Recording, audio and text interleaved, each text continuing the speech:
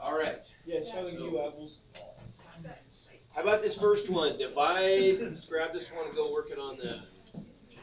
We do the least here? Somebody We'll do. Yeah, we'll do. But that too. That's another one we need to do. Okay. So are they always gonna remainder? Uh, well, if they didn't, it would just be zero for an answer. Oh. Yeah.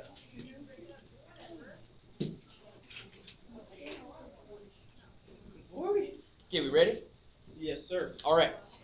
So if we're going to divide the, the numerator by the denominator, we, you know, long division, we got to set it up. We, I think everybody's pretty good with this part.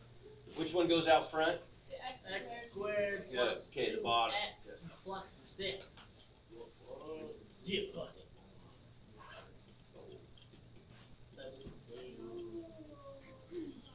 And then inside, we get this guy. Now, what do I have to do when I write it down, though? Make sure you add like the X to the third and stuff. Okay, I have to have a column for every power of x. And so this one's missing the x cubed term, so I got to put a zero x cubed there. That's crucial. If, if you miss that, it really in- increases your odds of missing the problem. So 4x to the fourth plus 0x cubed. Make it in red so we can really highlight. Plus 5x squared plus 2x plus 9. Okay, how do we get the ball rolling here? What do we do? Yes, ma'am, do come in. the What X do you- squared first? Okay, good. So we want to go leading term outside dividing into leading term inside. So we'll say 4x to the fourth over x squared equals what? Four X squared. 4x squared. And that's our first term in the answer, right? Then what? Don't you subtract. Times four X. Times it. Okay, distribute it all the way through. Good. And and you this is something else people are just not doing that I really think you got to do. Let's put let's do that, right? We're, gonna- we're going to make sure that we get this thing in brackets and subtract the whole thing because that's the most common place people make an error once they get to this point is they they they lose track of if they if they're subtracting or adding or that kind of stuff. So if we distribute it all the way through 4x squared times x squared there's our 4x to the fourth. Of course, those have to be the same because they have to cancel. 4x squared times 2x is 8x cubed. 4x squared times 24. Oh, I'm sorry. 4x squared times 6. 24x squared. I'm going to subtract the whole thing. Yes, I'm hearing lots of talking. I really don't want to hear that right now. Okay. So if we subtract vertically, those cancel. Zero x cubed minus eight x cubed is Negative eight. negative eight x cubed. Well, why negative? Because Oh, we're- minus sign. Got it. That's why we're doing that minus sign. Remember, the pattern is we always go top to the minus sign to the bottom, right? Okay, five x squared minus Negative twenty-four x squared, negative nineteen x squared. you just multiply the in round Say it again. Distribute the negative. I mean, you you could, I suppose. You could if you if you wanted to. I, I think as long as you get in the habit of, of just doing this, getting that pattern, it's just as good. And then I, to me, in my experience, when people have done that, they get they still get confused because what if they forget, you know, or or have they done it or haven't they? You know, I mean, it's I don't know. To me, it just seems like it's like it's if you get into a pattern and you're the same every time, and this is a pretty simple way to do it. I it's just my recommendation, but if you want to do it that way, you can. Uh, bring down the other two terms, right? And start again. With the two X. Okay, so now we're gonna do negative eight x cubed, right? Yep. Uh, zero x cubed minus eight x cubed, right? And you, all you, and here's another little hint. All you're really, you know the answer is gonna be x cubed, right? You know that you're in the x cubed column, so just focus on the numbers. Zero minus eight is negative eight. Negative. Right. You automatically know that the x cubed is gonna I follow. think it was asking where you got the actual oh, oh, eight X cubed. Oh, oh, okay, that makes sense? Yeah. Okay, gotcha. Uh, so if we, now if we go leading term, you start over again, but we're not gonna divide by the two x, we always divide by the x squared, Oh, always divide by, right? So we got, now we have negative eight x cubed divided by the leading term outside, x squared, and what's that equal to? Negative 8. Negative 8x. Right? And we distribute that through. So we get negative eight x cubed, negative eight x times positive two x, negative sixteen x squared, right? Mm-hmm. Negative eight x times positive six, Is that number? negative forty-eight x, right? And if we subtract the whole thing, right, and let's just focus on the numbers part, right? So I'm gonna get negative eight minus a negative is plus eight Zero. cancels, of course. Negative nineteen minus negative, so plus sixteen. Negative three x. Okay, two minus negative forty-eight, so plus Fifty x. plus nine. There we go. Okay.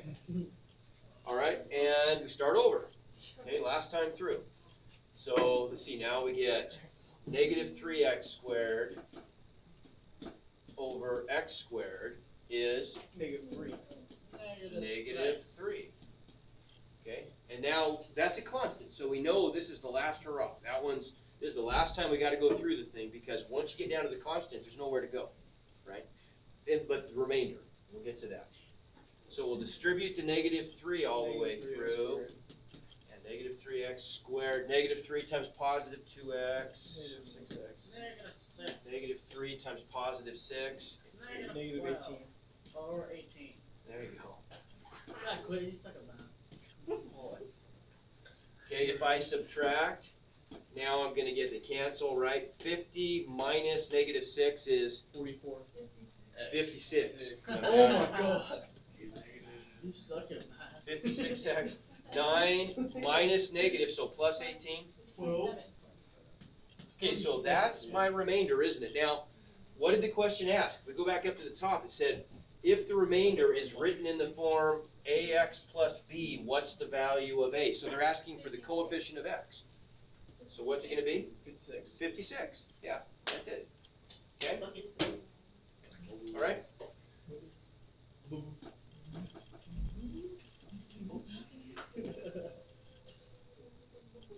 Okay, moving on. Uh, greatest and least real zeros. Okay, this one, It's hard.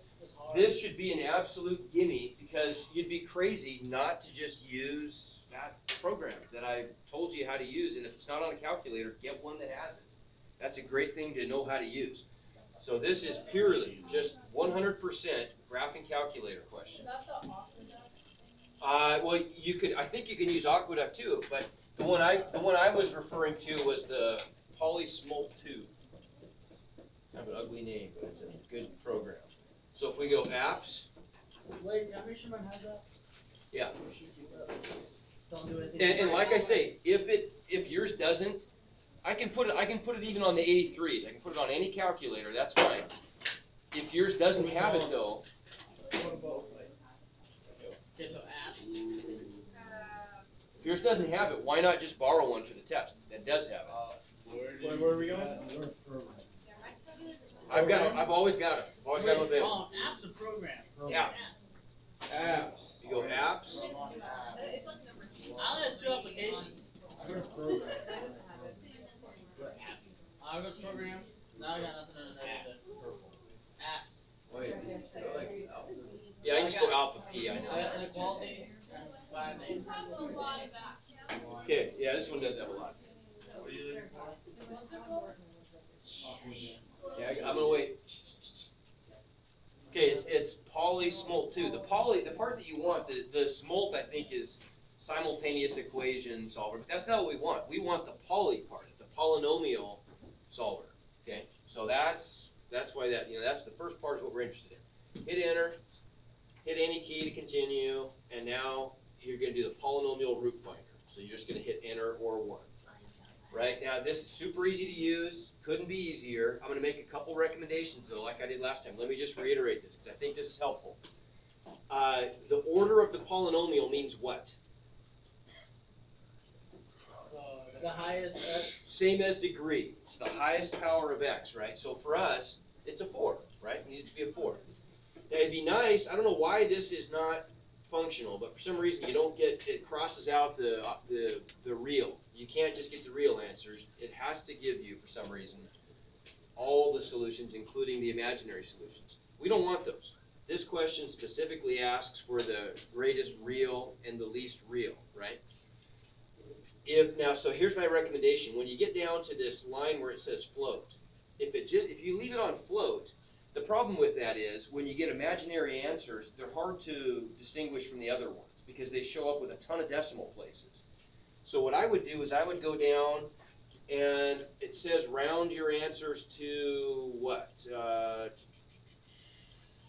it just says Jesus integers, doesn't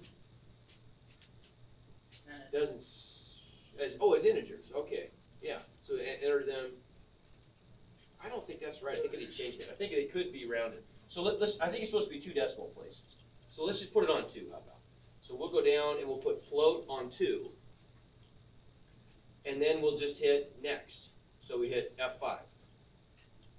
And then we get to put in all the coefficients, right? So now look at look at the little uh, template they give you up at the top. It says a4 times x to the fourth plus et cetera, et cetera, a1 x plus a sub zero. So the subscript is just matching the power of x, right? So we would, this is going to be the coefficient of x to the fourth. It just goes in order in standard form. So that's a 4. We go down and make a3 41. We make a2 113. We make A194. And we make the constant A0 168. And then what? Solve. Solve. F5, yeah. And voila, it gives it to you. Now notice, see the bottom two have i's in them. So we- we're just gonna skip those. We don't care about those. We just care about the real solutions. And my two real solutions are negative four and negative six. So which is the greater of the two? Negative four. The lesser of the two? Negative six. Now, if they were all imaginary, what would we put? Nine, nine, nine. Nine, nine, nine. Yep, exactly. Okay? Make sense? Now, something came up on, I just saw this once, but somebody had one yesterday, and the graphing calculators will do this periodically. They had answers that looked like this, and then the bottom two said something like, well, it had some decimal plus or minus. It was like 2.3 e negative 7 times i. What does that mean when your calculator tells you Isn't something like notation? it is. And what it's telling you is it's a number like two point six plus or 0.000000. So what it's really trying to do, that's the calculator making an error, and they'll do that sometimes. They'll make numerical errors, and so what it's really trying to say is some number plus zero i. So it should have been should have been real. If you get something like that, I would recommend that you graph it. Just make sure, because probably it's made a little error. I, I don't know why it does that. I think it's rare that it'll do that, especially if you round it. I don't think it should. If you round it, I think it'll be. I think it'll just show up as a zero i when you'll see that it's zero. Um, but I, I don't know. If that comes up, just ask me and I can help you a little bit. Okay, questions on that? Make sense? Use the program. The program is so easy to use. It's an absolute freebie. It'll do all the work for you. But I want you to know how to use it. That's why I put it on the test. Yep. Yes, I will. Yep. Okay, next. Uh, this one, when a polynomial function, this is another one that I think was missed quite a bit. Let's see. What number is that? Seven. Eight was worse. Let's do. Oh, that's what we're doing. Eight. Yeah, eight. People missed eight quite a bit. Okay. Uh, so, what do we do with this now? If, we, if they're giving us all the the zeros, okay,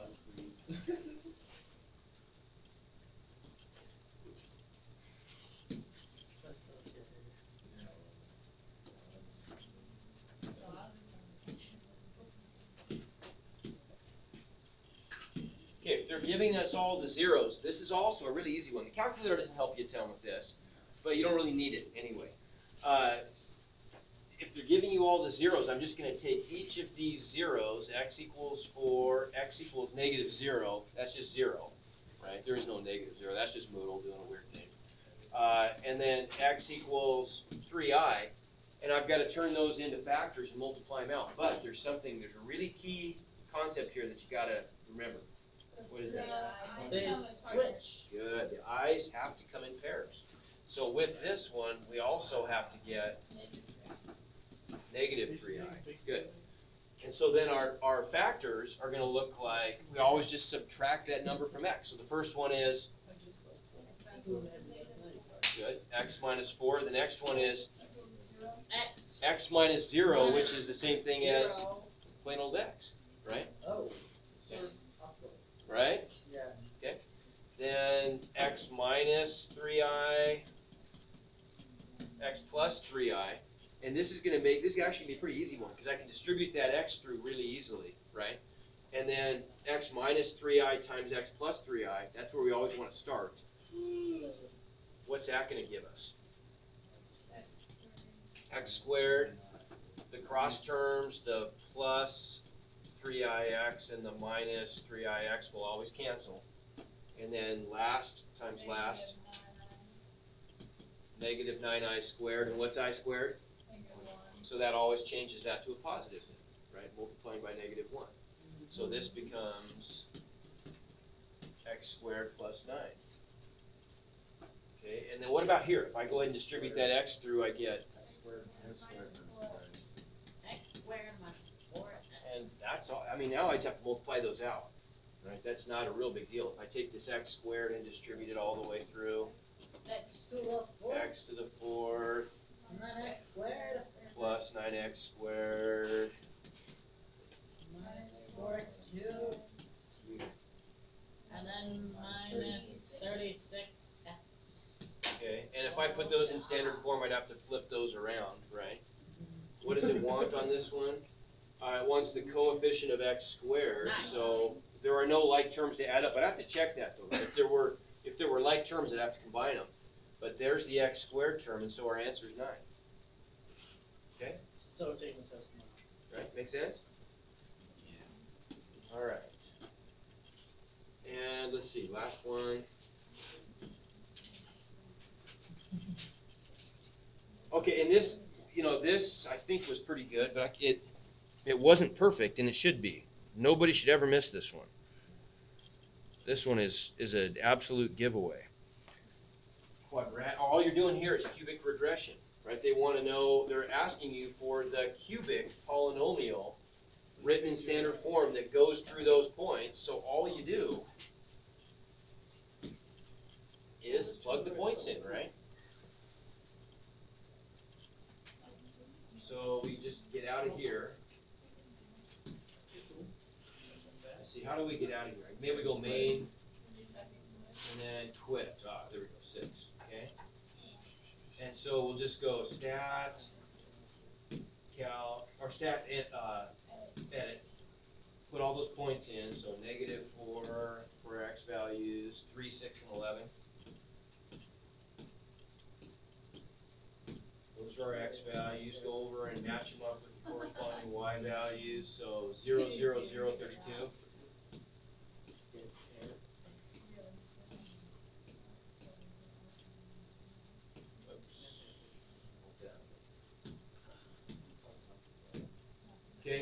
Now what? Yeah, stat, calc, cubic regression is six, good. So cubic regression, and yours looks a little different, but if you just go to the bottom and hit, what does it say, solve or something like that? And then there's your, there's your model. ax cubed plus bx squared plus cx plus d, they wanted in this case the coefficient of x cubed, so that's a.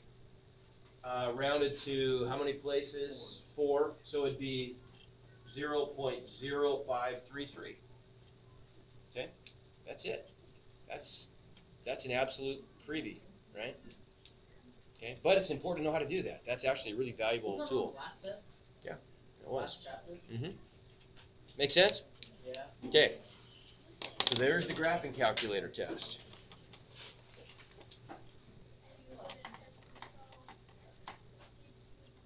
How far should we be in chapter seven? Uh, well, I mean, you want to be staying caught up. You know, you want to be working on, if not done with seven four.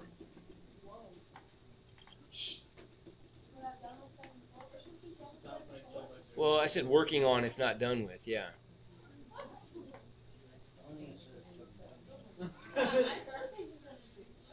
Same here, dude. Okay. Uh, is there time? I mean, do you want to? Do you want to? Is there time to even mess with going down there? Do you want to just Yes. go through the non-graphing calculator I test? just Or? finished my review. Let's go to the non-drafting. I, we might, being as we're here, we might as well. I think. And then tomorrow, I'll let you guys work on this Too stuff. much, too much, 'cause I can't remember how to do the graphic. Zeros non-drafting. What's that? Grade from the zeros non-drafting. Okay. Yeah. Let me look at. Let me look at that one, and we'll just see. See the us hoping you throw plus and stuff? Hey, you know, you you don't even know. Okay, a lot of people miss this. What do we do with this guy? If I've got, if I'm dividing, everybody, listen up, please. If I'm dividing like bases like this, what do I do? This is, this is just the chapter seven two assignment. But there's, I, I want to do this one real quick because a lot of people miss this, and, and so I, I- want to just head off some problems in the past. Then I'll go right on to the non-graphic. Got it all ready to go. But I, I just remembered I wanted to do this today. So, so what about this? What do I do? Amanda, you're gonna answer a question? No, I was just gonna say that because they like bases, we just, just deal with just the fraction. Okay, right, the, so we know if we have like bases, we're gonna just subtract exponents, right? Three sevenths is bigger than one seventh, so we'll keep it on the bottom. Yeah. One subtract one, One over six and two two sevenths. sevenths. Yeah, okay, so one over, and then six to the three sevenths minus one seventh, so that's one over six to the two sevenths, right? Okay, here's the problem with that. That is numerically correct, but we don't wanna have Okay, I, I'm getting kind of tired of waiting for people to do stuff that's not at all related to what I'm talking about here. We don't want to have radicals in the bottom. Remember, we couldn't have square roots in the bottom. If we want to simplify this, it wants us to simplify. Yeah, I can't have a fractional exponent in the bottom. I can in the top, right? But I don't want to have one in the bottom. Easy to fix. So how, what am I going to do with this? If I've got six to the two sevenths, one over six to the two sevenths. So six to the two sevenths on the bottom. And I don't want to have a fractional exponent on the bottom. I need to get on the bottom a six to the one, right? I want to get a six to just an integer power, and the one is the easiest. So I'm going to multiply by something to get six to the one on the bottom. I got to do the same thing, top and bottom. Five sevenths? Five sevenths. Right. What am I gonna add? One is the same as seven sevenths.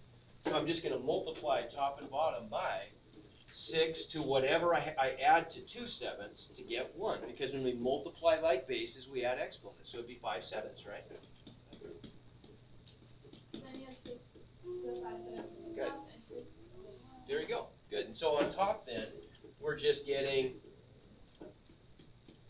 six to the five sevenths. On the bottom, we're getting six. We wouldn't even write the one there, would we? It'd just be six. And that's pretty easy to, there's an easy way to maybe do like a mental trick here that's useful. I'm just going to, if I've got a, a two sevenths on the bottom, I just know automatically that I'm gonna have to bump that up top and bottom by five sevenths, right? And so that's what I'm gonna end up with on the top, without even writing this out probably. And on the bottom, I'm gonna get my one, six to the one. Yes, ma'am. Uh, because, because two sevenths plus what equals one? Okay? And so then we would just input this in Moodle. Like, I guess we can go here, can't we? Uh, yeah, I would. I mean, it's way easier. So if we just, if we used, so we're gonna have a six to the five sevenths on the top. here, we're going to get 6. And then might as well, see, I can use that little template there to the power of 5 sevenths.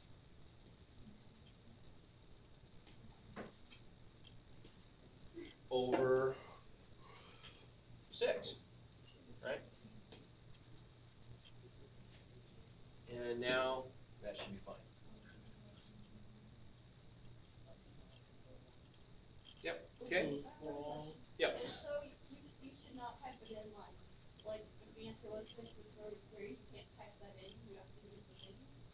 You mean, could, could you type that as a radical, you mean? Uh, you could, sure. So we, we, we could write that, I think this is the question. It's kinda awkward to do though, because this is, if I wrote that using radicals, it looks a lot harder. I'd have to write this, I can't have a radical on the bottom. Well, I, I didn't even that. Oh, oh. Yeah, i unless it tells you, uh, like to use rational exponents or something, then it wants you to use rational exponents. There are some, I'm trying to remember how I wrote this assignment, but I think there's some on here, if I go down, How come it's changed, I guess, how come we do it, how come we have another ever entered them all? these are those new questions that I've been building. These are like the latest and greatest. They, they take a while to build, but they're really nice, from your end, they're really nice to use. Like these right here, see, I want you to write this using a radical. So do you need to use that? I, I would, yeah. I mean, you, you, on these, you really do. I, I could have on this last one, uh, I, I could have done without it, but it would have been awkward. To enter that, I would have to enter it like I would in, in the old Moodle. I'd have to say something like this. Six to the five sevenths divided by, and that's kind of, you know, I mean, you can do that if you wanted. But you might as well use that nice template there so you can see, you know, it's literally what they call that is a what you see is what you get editor. Well, I got a question wrong, but I think the answer was right, and I typed in like A. Shouldn't make any difference. Show it to me. It shouldn't make any difference. Because it's, I think it does. It's like six to Right. thirty-three. They're the same answer. Mm, show me, show me. If it's, I, I can, maybe I need to fix something. But, yeah, it shouldn't do that. That's, it should be, should work either way. Okay, moving on. Oops.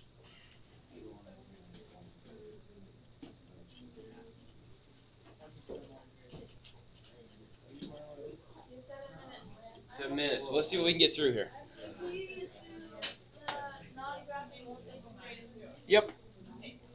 Okay, non-graphing. Here's, here's the scores. Let's see what they're supposed to be. We can figure out the ones that we're having, having trouble on.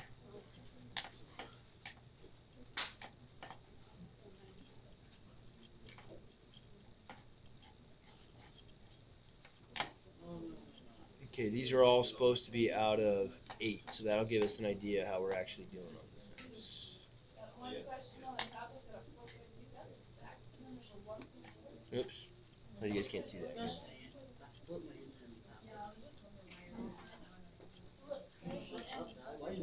phone?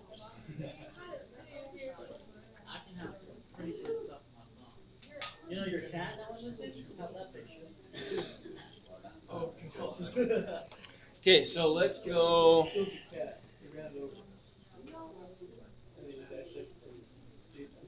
See what's a really low. That's a low one right there.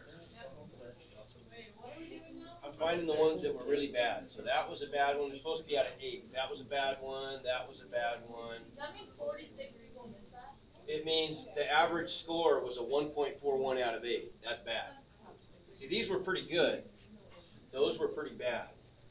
So let's let's start with this one. That's number I was on like. one, two, three, four, five, six, seven, eight, nine. So ten. Ten's a bad one. All right, let's do. Ten,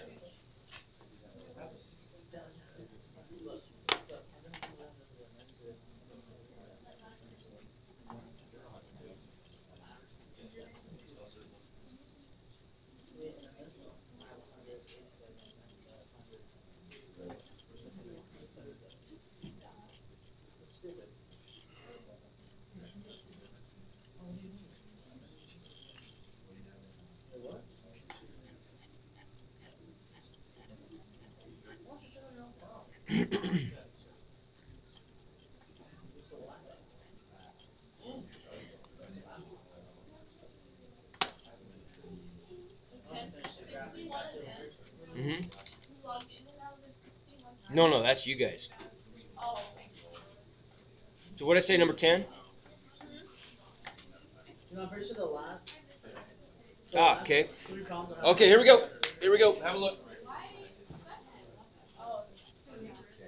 I can see why people miss that. Which one? Number ten. Oh, no,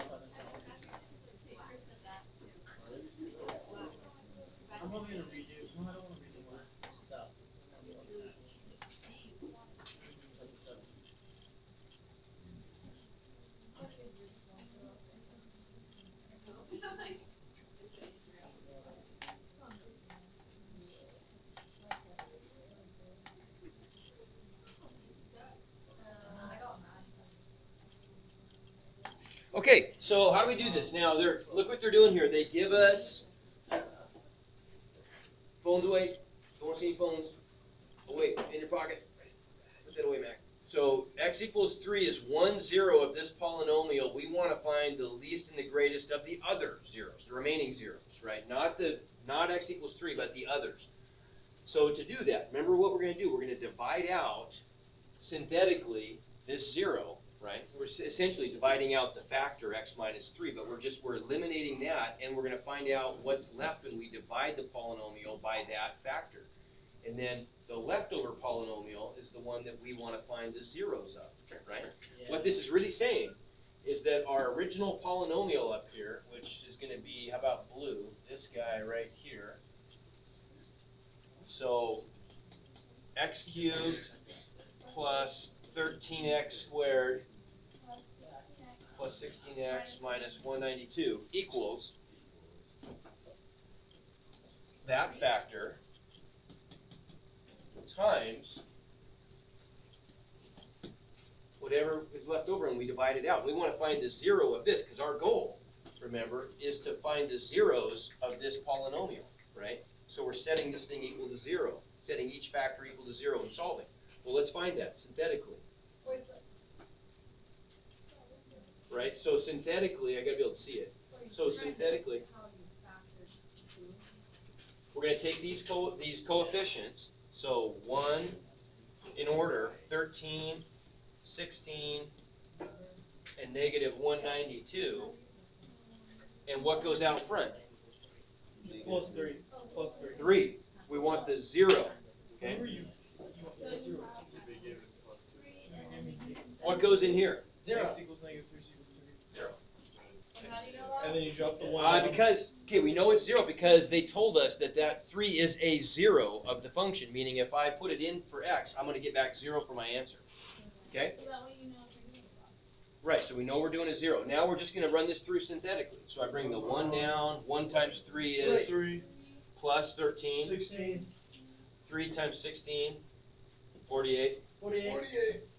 plus sixteen, sixty-four.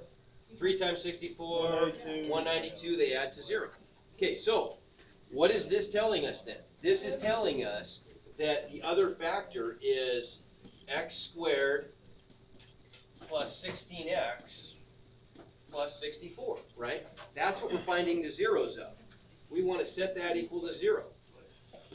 So x squared plus sixteen x plus sixty-four equals zero. We can solve that any way we want to. We could put it in the quadratic formula, or we can factor it. This factors, and these are gonna factor. I made these so they would factor easily. it. Wait, so Oh, mine did not factor easily. Yeah, it does. What two numbers multiply to sixty-four and add No, to no, sixteen? no, mine. eight. Yeah. It. Eight. Eight. I'm telling you. I know the answer was two, but it was hard. So plus eight and plus eight. So what are my zeros? What does Moodle say to do in that case? I think it says put them in Give you twice. least and your, Enter that value for both answers if they're the same. so negative eight and eight. See, mine was Negative dumb. eight, I had to negative. do the square root of the quadratic formula, and it was dumb. Okay? Good. I don't know this. But as it's